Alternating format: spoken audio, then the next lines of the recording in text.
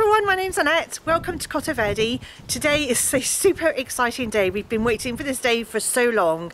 Today we're putting up the large Gothic arch or pergola um, that we've got for this entrance here um, into our garden and I can't tell you how exciting it is because we have been planning for it for a while. And I've even got the roses. If you've seen my previous video I've even bought the roses that are going to go I'm going to train over the arch. So what we're going to do today is put the arch up. We'll show you the process that we go through and and then I'll show you the finished result afterwards.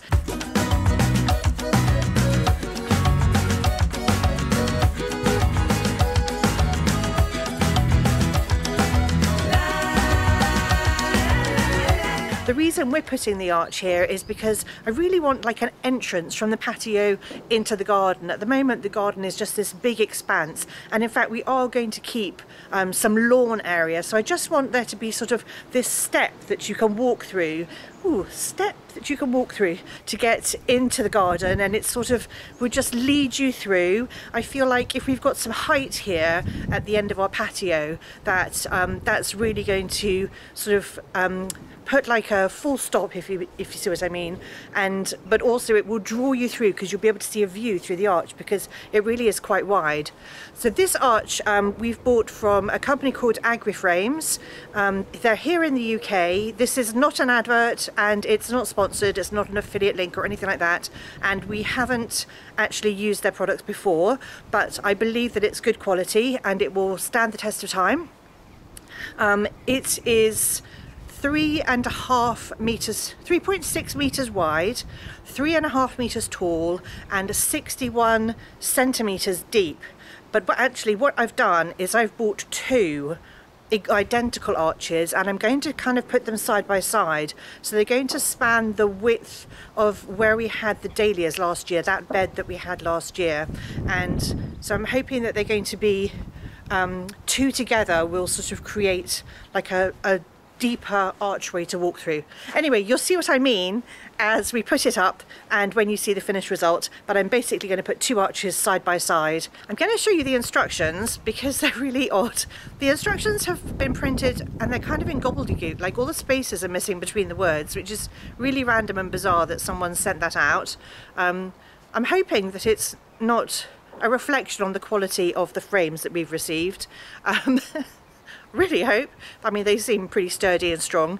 Um, anyway, I've managed to find the instructions online, so actually it doesn't matter too much. And, you know, if we can't understand what we're doing and figure out, you know, where the spaces are supposed to be in the words, then we will just um, look online. So yesterday what we did is we unpacked everything. It came in absolutely um, loads of protective packaging and actually um, whilst there's a lot of plastic involved which is very disappointing because I'm you know very environmentally conscious um, actually it was it protected everything quite well. Also the plastic and tape was really hard to get off. It took a good hour to get everything off these two arches. Having said that they're unpacked now and we found all the screws and bolts and stuff we need. Um, we need a hammer to put it up apparently. They provided everything else. We just need a hammer. Oh and some steps. So it says it needs two people in order to be able to lift the arch onto the top of the uprights. Uh, so thank goodness I'm here with all my strength uh, to help Richard with that bit So this is the view from outside our kitchen and this is where the table is here and beyond that this area that's our seating area with the eucalyptus hedge at the back there. And this is the glazed corridor which looks directly out onto the garden which is quite wide. And so what I'm planning to do is put the arch over here as an entrance at the top of these steps. So here we have the hammer instructions and some very dead plants that haven't been cleared. And here we have the two arches. The curved bits are obviously the top and then these are the uprights. And these bars here are the bits that will hold everything stable. And there should be some finials somewhere. I'm guessing the finials are in these bags. So yes, here are the finials that are going to go on top. And I think we also need a spirit level just to make sure everything's completely upright. And again, so the archway is going to go from this bed over to, you can see we've started digging this and this bed will just continue on down the garden here. And then there'll be a pathway in between these two beds. but the archway is going to go over this space. Okay, so we now have the steps behind me and a spirit level and um, what we've decided we need is something that's three and a half meters long so that we can make sure that one side of, so not only are they upright, but we want to make sure that um, because the ground is not necessarily flat, we want to make sure that one side of the pergola is exactly level with the other side of the pergola um, so that we don't have like a skew archway. Okay, so this is very much a figuring it out process. I will try and edit out the really dull bits, um, but uh, what we have to do first is we have to um, build the arch bit and put a spacer bar between the two arch. So there'll be two arch bits side by side and we have to put a spacer bar between them. And that's what we're going to try and figure out now.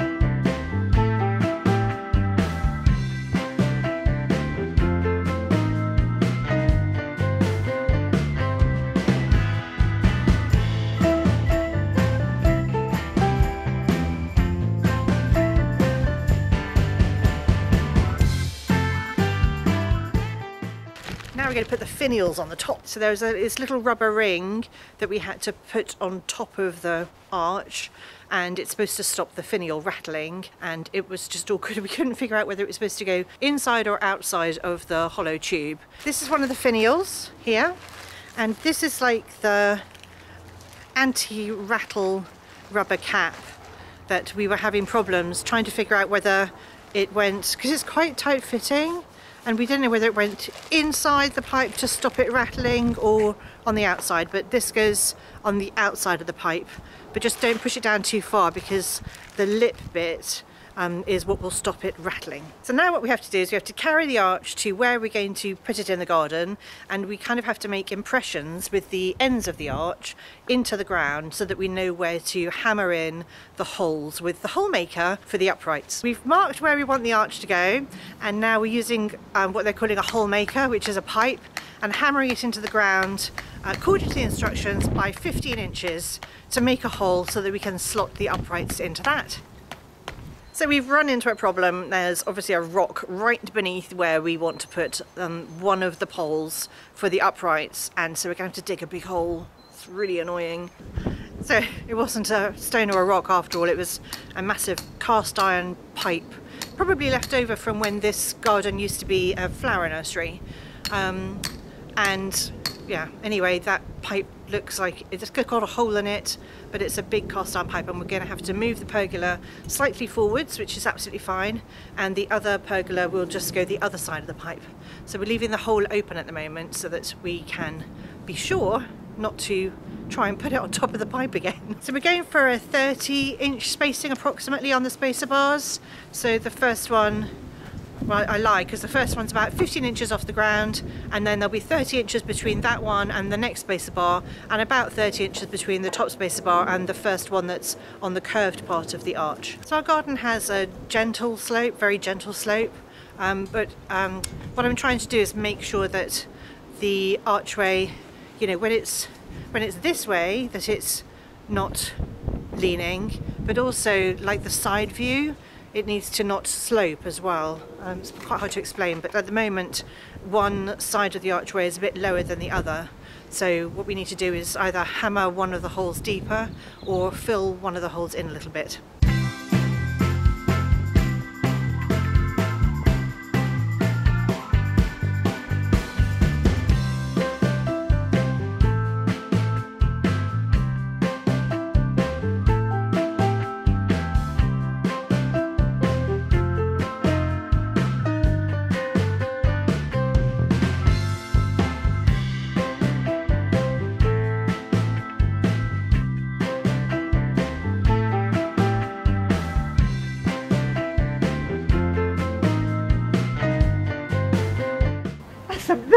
amazing. That's absolutely amazing.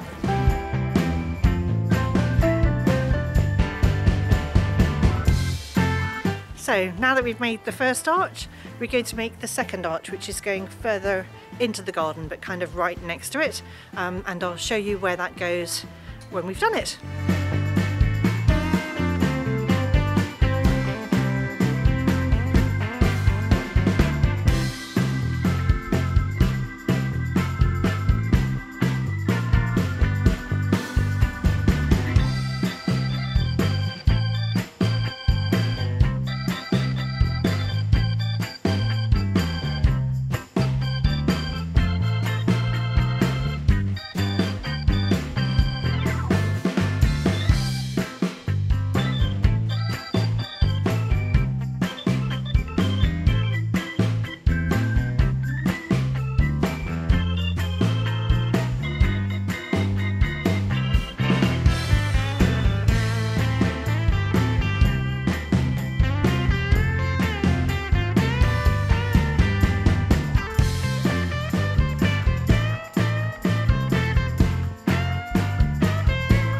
Course um, we're having some more problems with stones so we're going to have to dig the holes um, rather than hammering holes in so it's going to take a little bit longer.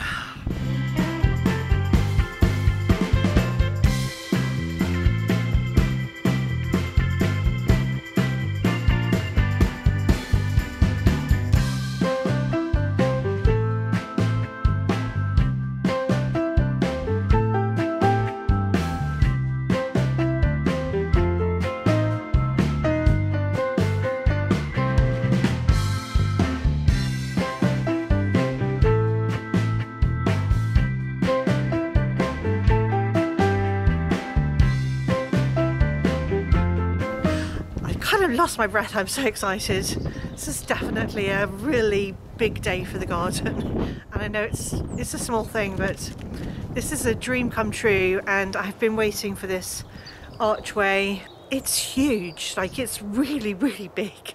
And I'm absolutely over the moon, over the moon, I'm over the moon, quite emotional.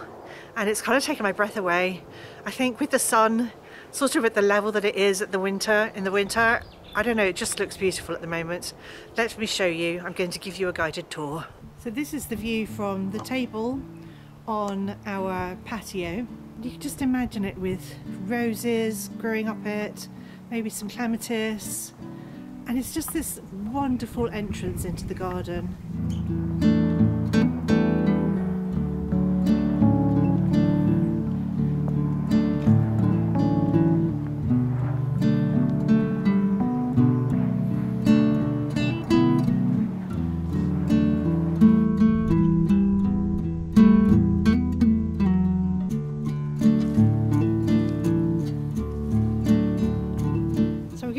a close-up, it's kind of this dark grey colour.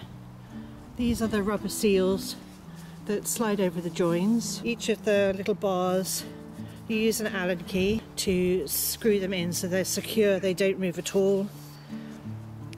And then you hammer it into the ground.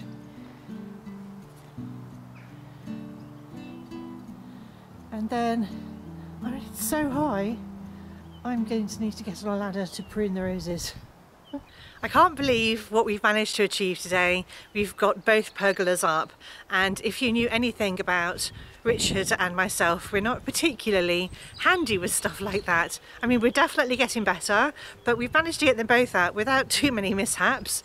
You know, there were a few things. One of the little rubber washers that goes over, it's like a moisture seal that goes over the um, the joins. One of them has snapped into, and I think probably in transit, but I'm pretty sure that we can get another one if we just call them up and ask for it. So we'll do that on Monday.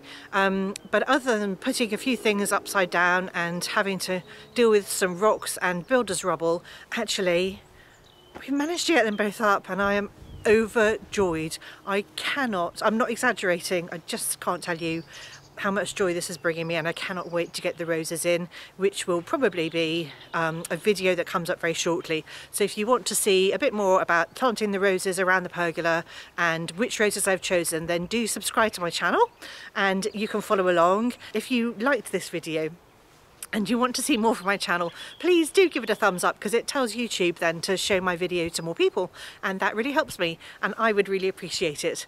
Anyway, I hope you've enjoyed it. Thank you so much for watching and I'll see you all next time. Um, and um, I think they provide like the little, what are those things called? Not ankle grinders. oh, you know the tiny little right angled spanners. Oh, I'll remember in a minute. So thank goodness I'm here with all my strength. you tell we're amateurs because somebody, mentioning no names, put that one in upside down. Even though I'd put the rubber end stops on. now he's asking me why, why I didn't spot it. And we've literally just spent 15 minutes making sure everything's level. It's so annoying. So tall it's gone off the top of the screen. Hang on a second. Ta-da! It's recording, isn't it?